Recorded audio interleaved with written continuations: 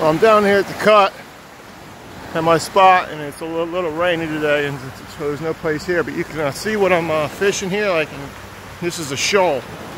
This is like the first shoal.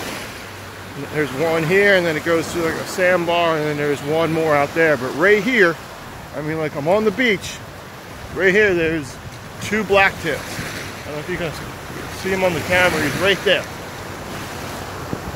right on the now it might be a lemon shark and he's an easy like 100 and something pounder right there. Just hanging out right in the shoal. Yeah like he, you could see him. Right there. Just uh, waiting to get fed you know because there's a lot of bait that rolls up in here.